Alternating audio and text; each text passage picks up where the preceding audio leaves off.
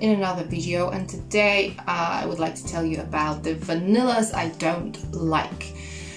So as a disclaimer I would like to um, I would like only would like, would like to say that please don't take it personally or don't get offended by what I'm gonna say because a lot of the fragrances I'm gonna mention today are actually uh, fragrances that a lot of people love um, this is just my personal preference. As I said in my previous video, I don't like vanillas that are too sweet or too gourmandy.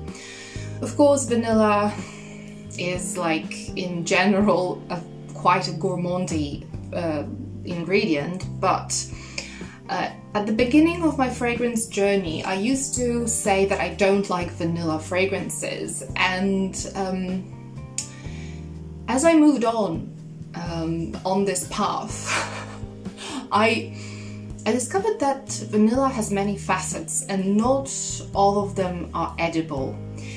Uh, so without further ado, I'm going to start with the first one. Um, and the first one is going to be Lira by Xerjoff.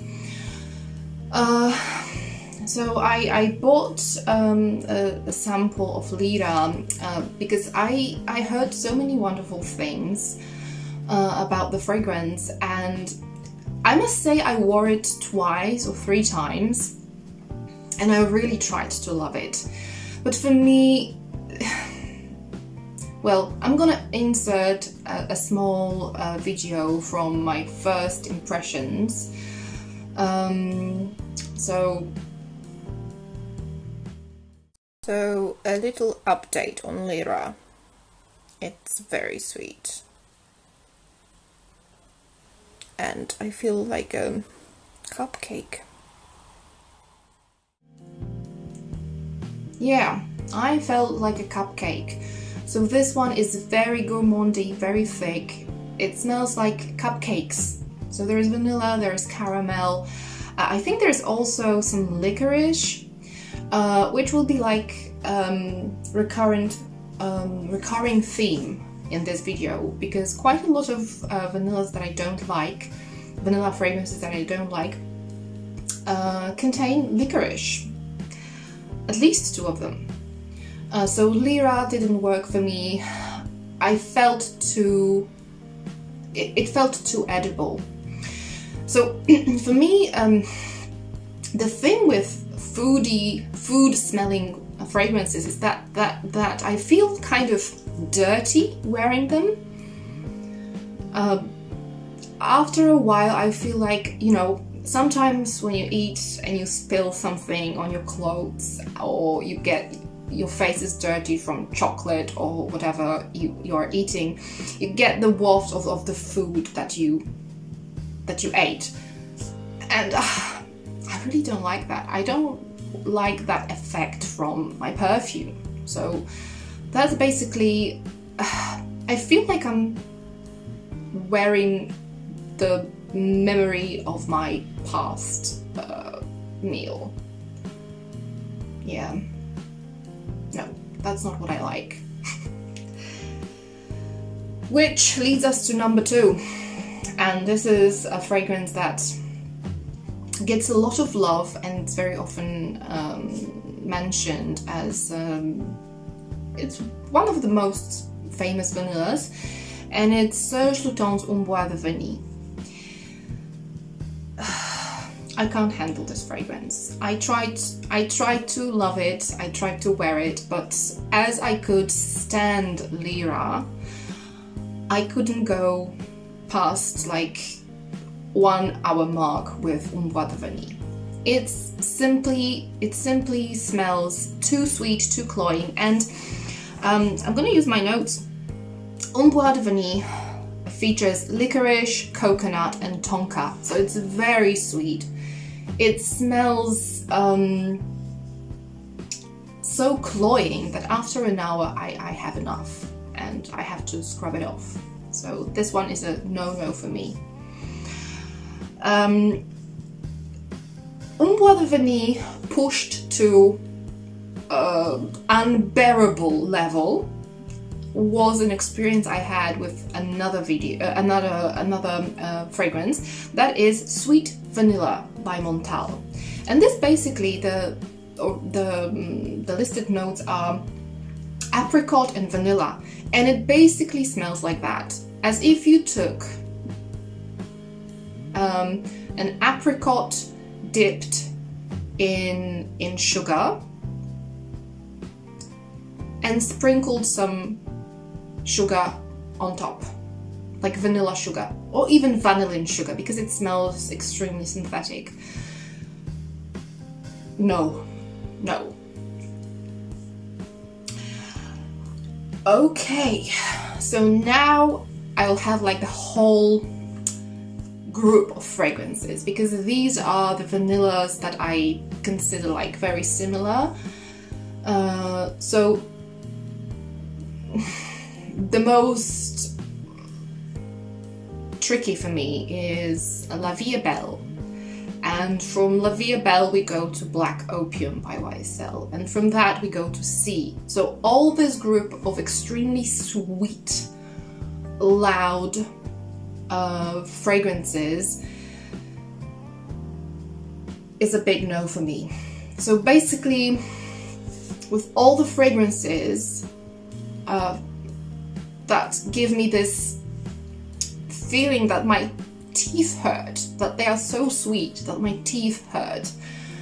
Uh, this is not what I like in my fragrances. On to the next one.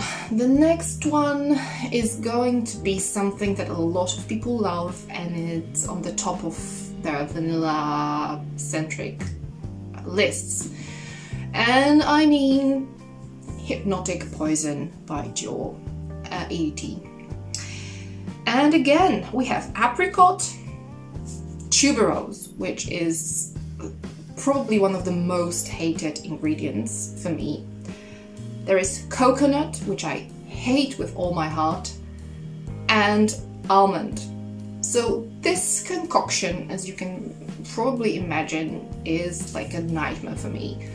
So uh, for me, uh, Hypnotic Poison smells like a very sweet, almondy, plasticky Play-Doh. I, I don't want to smell like that. Another vanilla that used to be mentioned quite a lot when it was launched uh, and it was hyped quite a lot was Vanilla Vibes by Juliette Has a Gun.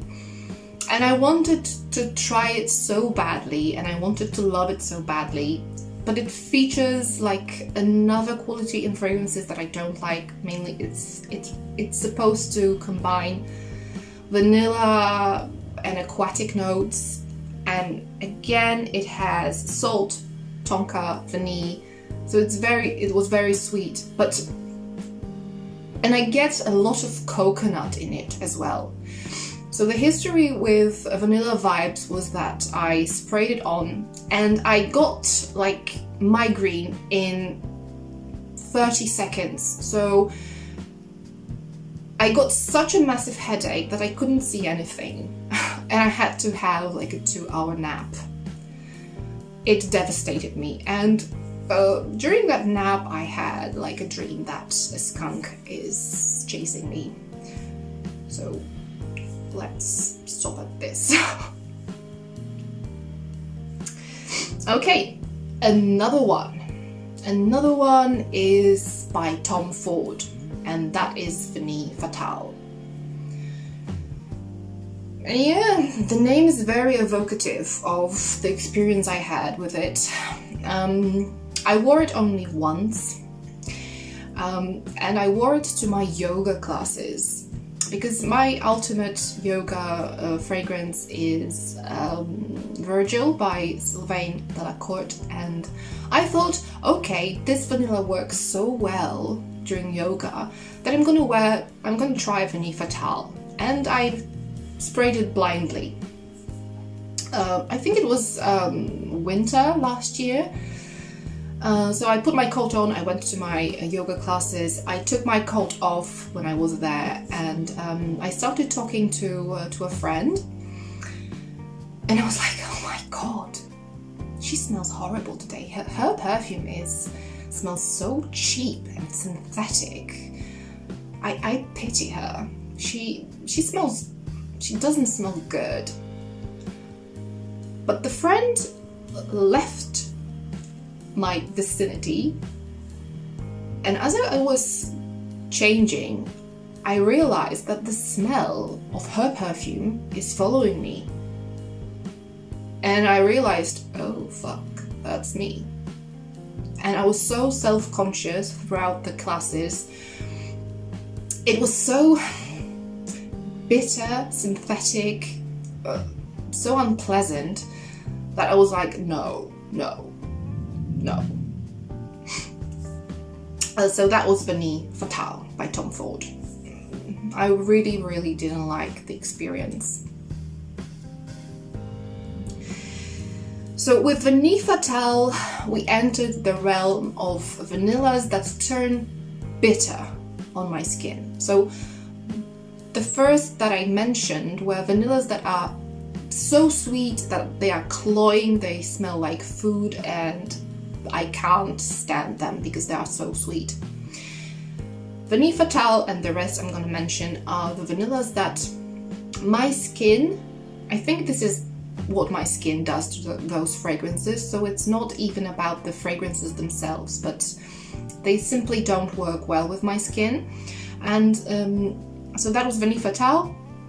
And another one uh, which um, I had a very similar experience with, and I also tried to love it. Um, I tried to wear it three times, and each time I had to scrub it off and that was um, Mona di Orio Vanille. Um, we have rum, clove, and vetiver in here. I don't know if it's the combination of uh, vanilla and vetiver that doesn't work for me, but simply it it smelled very bitter, plasticky, and um, it's simply flat like lifeless almost. I can't explain it in, in other way. Um, I really, I really didn't like it. Um, another one that I really didn't enjoy, and no, I hated it, was um, Vanilla, uh, Vanilla and Anise by Jo Malone. Um, so again, we'll have anise, fennel, tuberose, vetiver and clove. This combination, um, no, uh, it, it doesn't work for me. So again we have licorice, again we have vetiver, uh, and yeah, the tuberose that I hate.